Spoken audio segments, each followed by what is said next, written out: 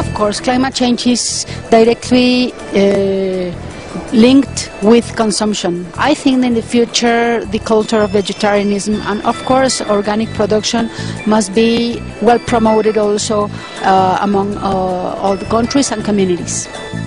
The implications are that it's unsustainable. We can't keep living uh, with the diets that we've uh, had. The responsibility that we have as mayors is to inform the citizens, inform the people out there enough information where they can make conscious choices. All of us have to work together to give people information on what the impacts of their current choices are and then what choices they may have to improve uh, the status they're in. In all our schools, we have uh, the possibility for the students to choose between uh, vegetarian food and some meat or fish.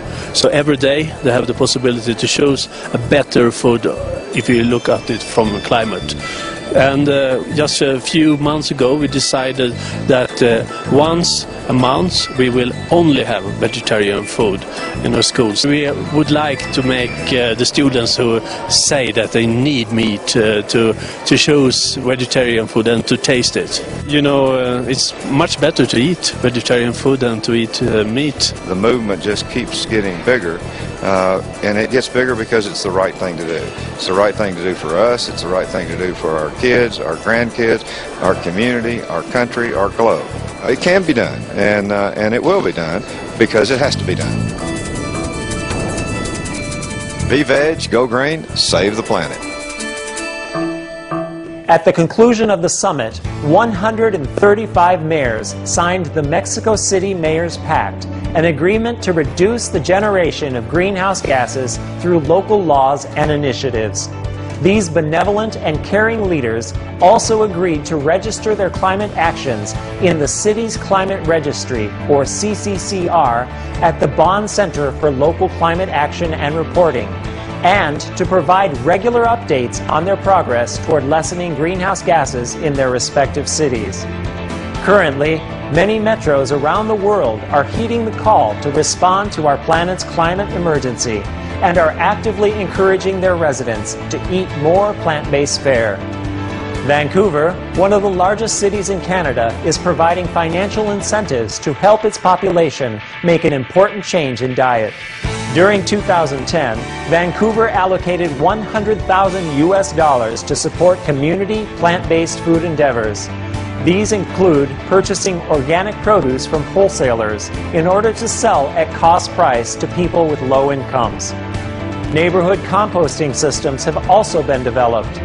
Mr. David Cadman, a Vancouver City Councillor, as well as President of ICLEI, expressed his view on the shift towards a plant-based lifestyle.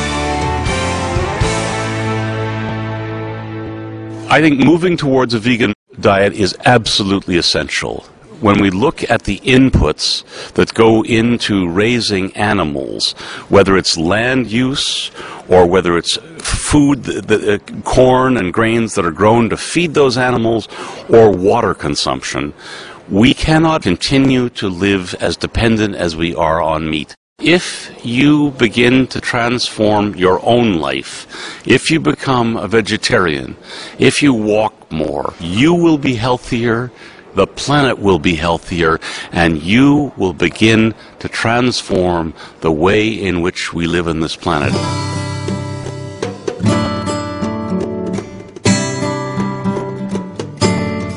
To close, we would like to extend many thanks to the local government leaders, members of international bodies such as the World Mayors Council on Climate Change, ICLEI Local Governments for Sustainability, and United Cities and Local Governments, and all others who are working with earnestness to mitigate global warming.